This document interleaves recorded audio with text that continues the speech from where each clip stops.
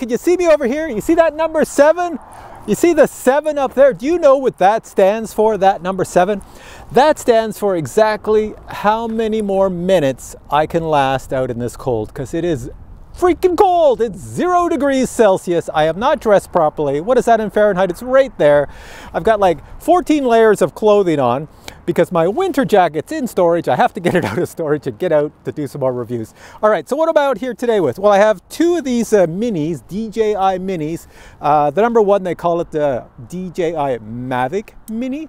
And the number two, they just call it the DJI Mini. So I can't tell the difference between the both of them. I can't even speak, I'm so cold, but if you look at the back, this is how I fix that. So before my teeth, so before my teeth start chattering, I'm having difficulty speaking, uh, let me just tell you a little bit about this before I get into the actual review and basically tell you the difference. I'm gonna try to do this review different than most reviews you see on YouTube, because that's what I do. So in this review, I know a lot of you are watching this right now because the DJI Mavic Mini, number one, the one with the little green thing on top, uh, this is still for sale.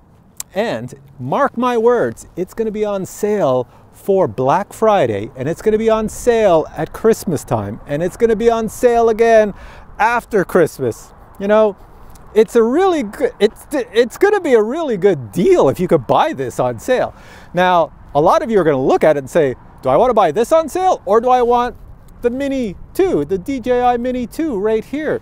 You know, why, why would I buy the Mini 2 over the 1? Well, that's what this video is about. I'm just going to show you the differences, what DJI has done with this drone over this drone, and then that should give you enough information to decide if you should buy either one.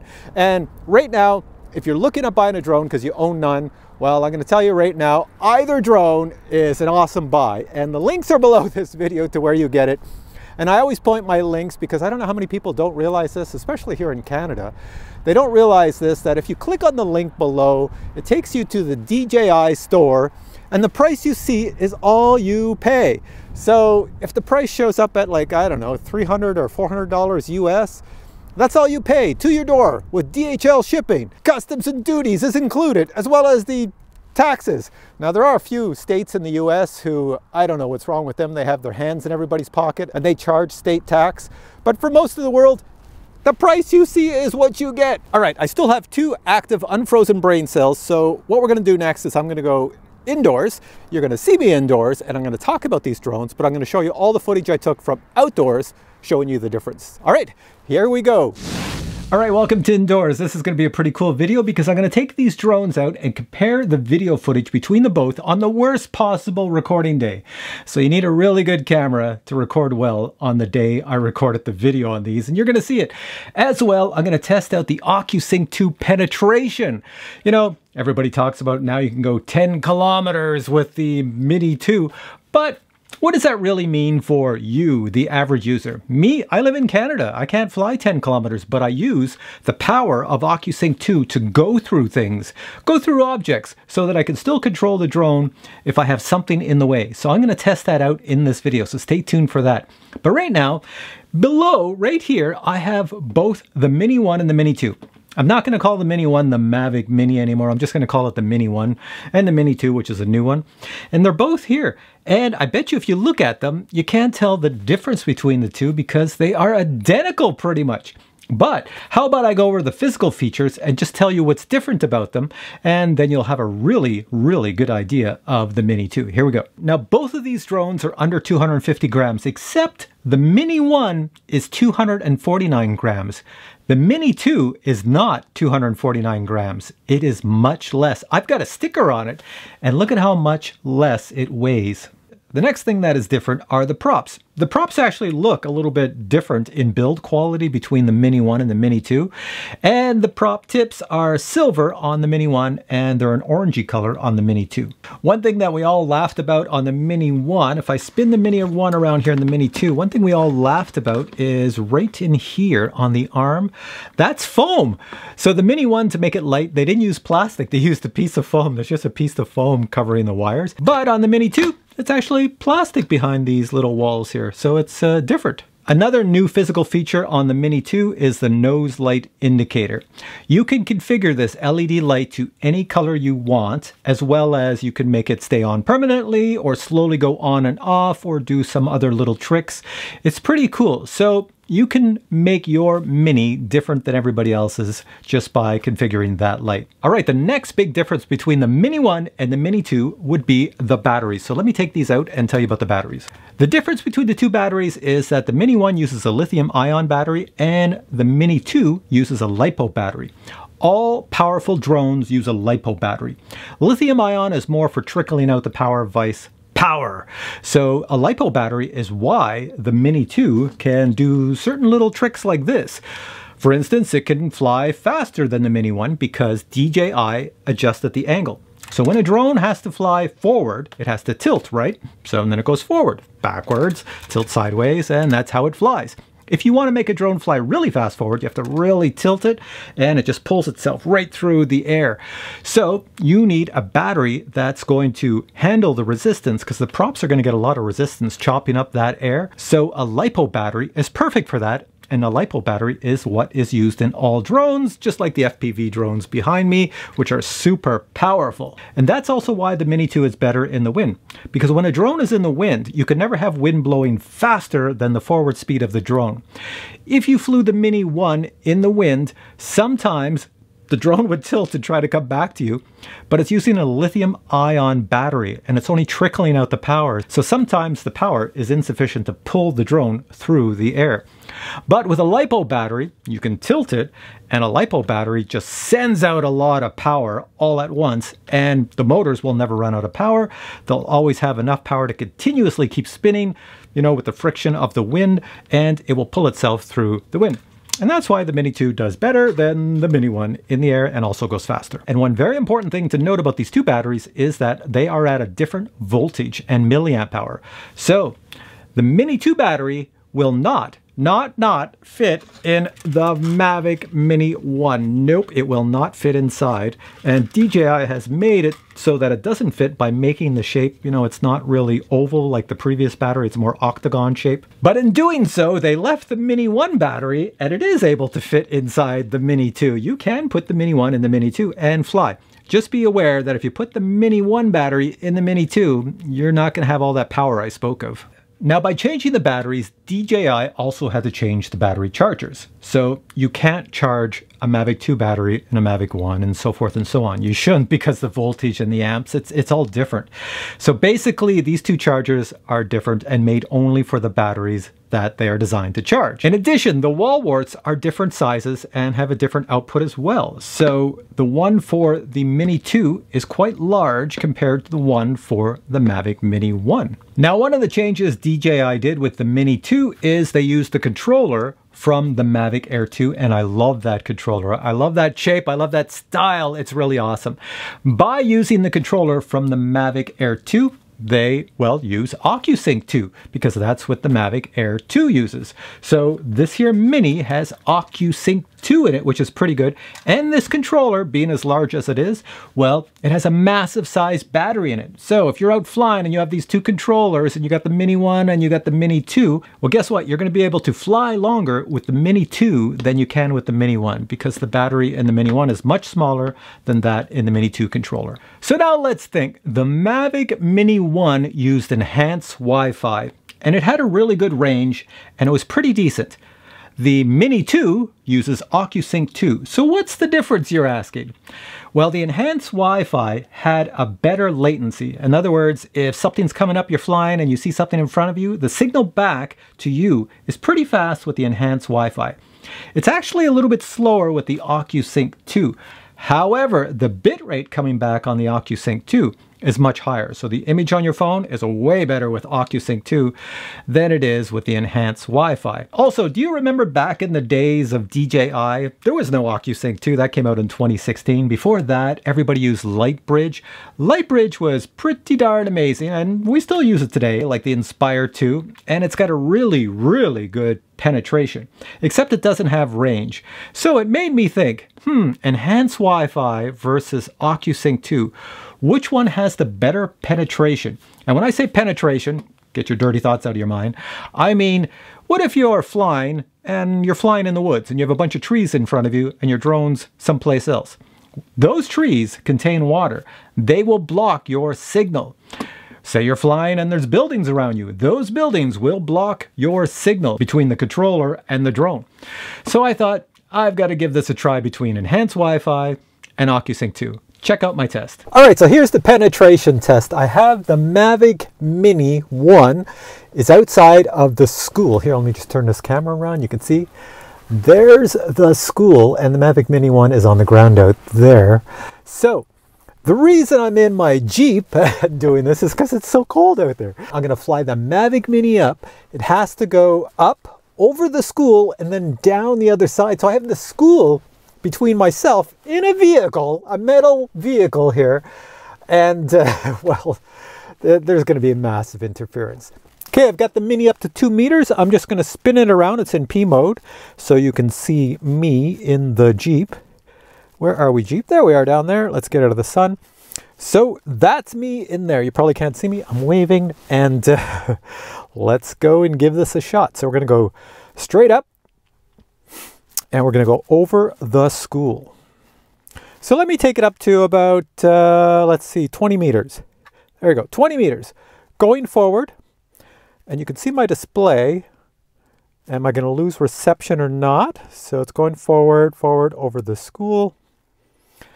And then when I get to the road on the other side of the school, you can see the road down below. There's the little playground and there's the road over there. All right, looking at the other side of the school, I'm holding the controller in my lap here. I'm gonna hold it like this, and I'm gonna try to do that with both drones. So if I look to the left, I can see kids playing over there. But I've already checked below me, there's nothing below me. So looking forward, here we go, I'm going down. Let's see, is this thing gonna take me all the way? Is it gonna have enough communication? This is, this is a DJI Mavic Mini 1. Is it going to be able to let me go and drop below the school? It says I'm at 11 meters, 10 meters, 9. Oh my God, it's st I still got reception, guys. 5, 4. Oh, it's oh, it's cutting in and out. I can't tell where I am. Oh, blackness, blackness, blackness. So I got nothing. Weak signal, adjust antennas. Oh, return to home. So that was really good. That is the DJI Mavic Mini 1 which is only has an it only has an enhanced Wi-Fi. The Mini 2 has OcuSync, which should be better for penetration, I think. All right, let's go check out our Mini. Hop outside the Jeep here, got to jump down. There it is. Mini, you did a really good job. And this is the Mini 1. All right, now the Mini 2, here we go, taking off. There it is up in the air. Yes, yes, I will check it on the map and I'm going to spin it around. I've got it in normal mode. I'll spin it around so you can see me in the Jeep. And there I am down there, waving again. You probably can't see anything, but uh, let's take it on up. There we are, fly forward. I will say the Mini 2 just flies so much faster too. That extra little bump it has in speed is pretty amazing. All right, so I'm going to take it over to where I was before, all the way over here, spin it around, and uh, let's see if there's any kids out playing or anything. Just like last time, I'm going to hold this up like this. This is a different antenna. This is OcuSync 2.0. Let's cross our fingers that it does just as well as the DJI Mavic Mini. Here we go, going down. 19 meters, 17 meters, 15, 14, it's going down. 11, 10, 7, 6, 4, 3, 2. Oh, look at this. I got it all the way down to 1. And yeah, look at this OcuSync. I'm down at 1 meter and I can go lower. It's going to think I want to land, but I can still fly it around back there at 1 meter. Look at this. I'm going to, I have full control. I'm spinning it now, nice and slow, and I can actually fly back here. I'm at 0.8 meters off the ground with the school in the way, and uh, hopefully my phone is recording. Oh, did I just lose reception? I lost it. No, I got it back. Thought I lost it there for a sec. Oh, oh, it is choppy. At point, 0.5, 0.6, it doesn't know what to do. Oh, it's the drone is moving itself. I'm not doing anything. I got a sec. There we go. There we go. There we go, 0.5. All right, I don't want to take it forward because it will go right into the car right there. So let me just see if I can land it. I'm going to land it. Pull, come on, land. Tap to cancel landing. And I've lost display. So the OcuSync 2.0 was better. It says it's not connected. All right, let's just hit this here uh, home button hmm, it's not coming back. So I'm going to go over there and check it out. Wow, there's so many people out here learning how to drive right now. It's amazing. There it is. The drone is right there on the ground.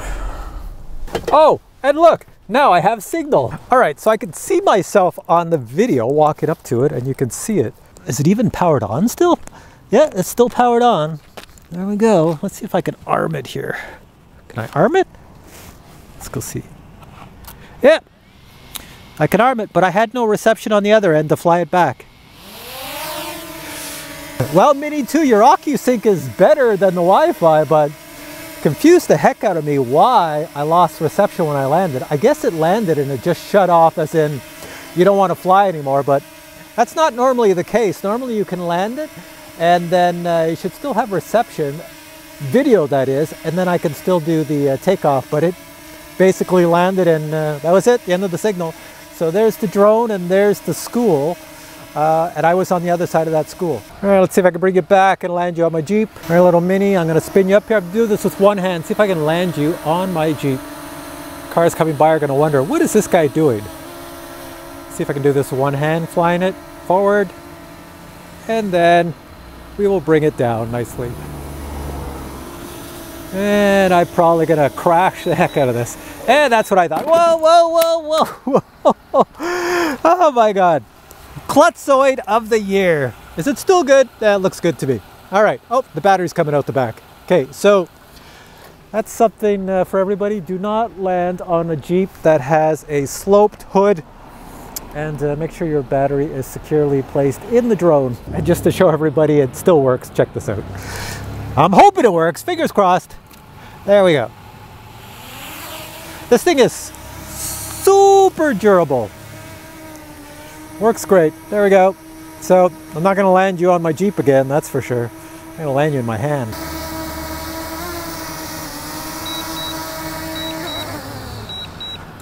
All right, so pretty impressive. So you saw that OcuSync 2 is slightly, slightly better at penetration than enhanced Wi-Fi.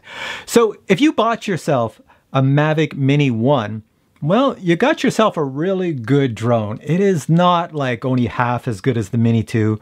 It's like 98% as good as the Mini 2 if the Mini 2 is 100%. So you probably wouldn't notice a difference in penetration or range between these two.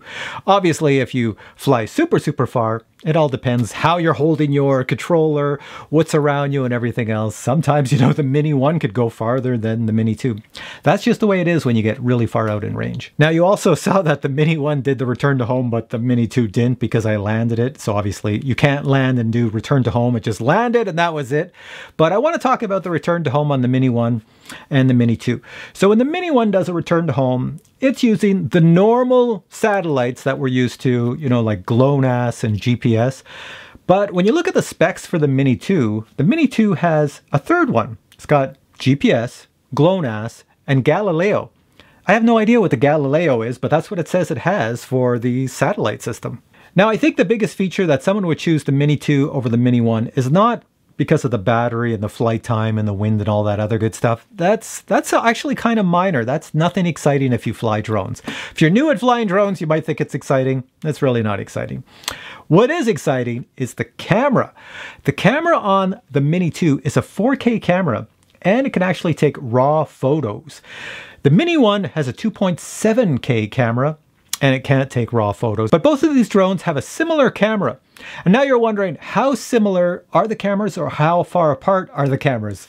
You're going to be really surprised at this test because I'm going to tell you the exact truth. All right, check it out. All right, can you see me away out here? I'm walking closer and closer. So right now, I'm going to stop walking about now.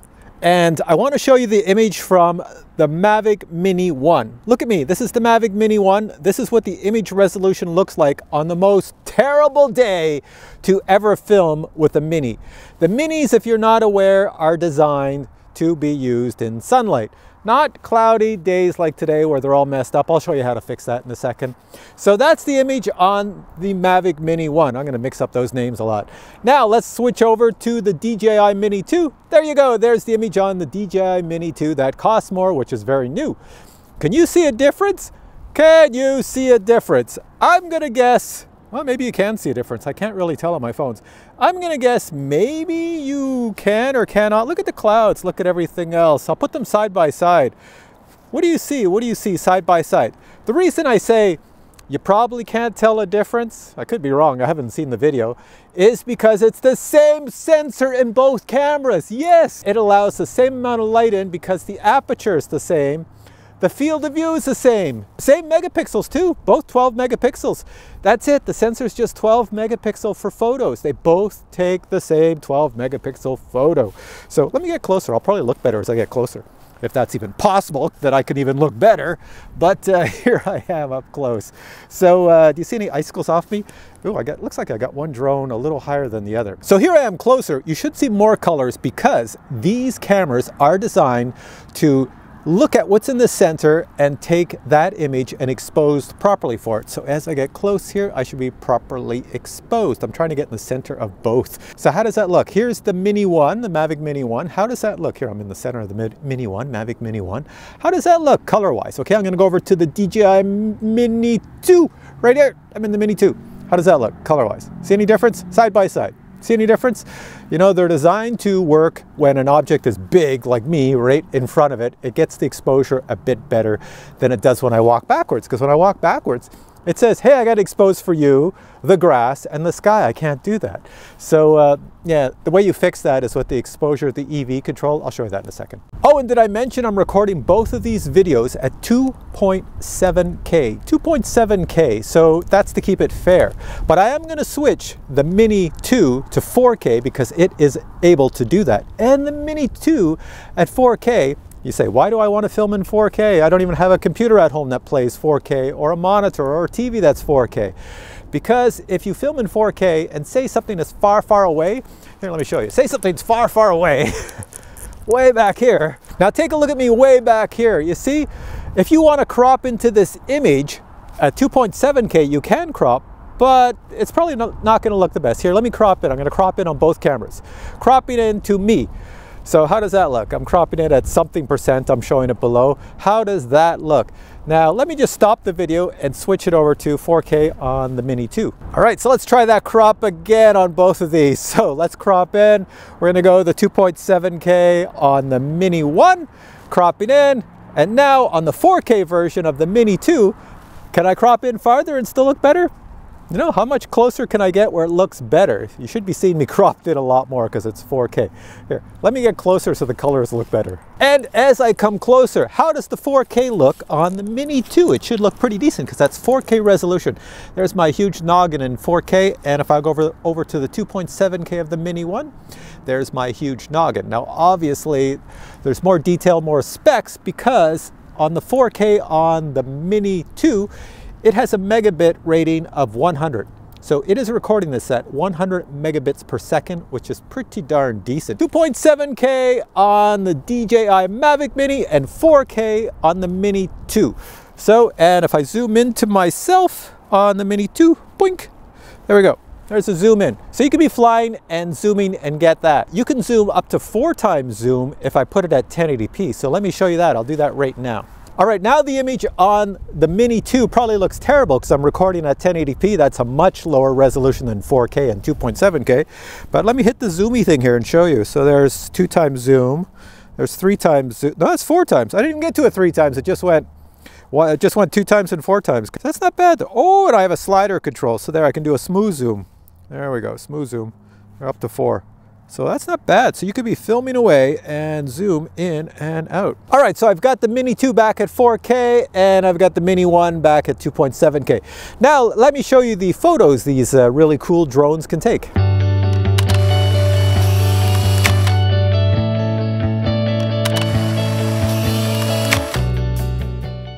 All right, I did say I was going to show you how to fix the image so it looks better when it's dull like this with these minis, Mini 1 or Mini 2.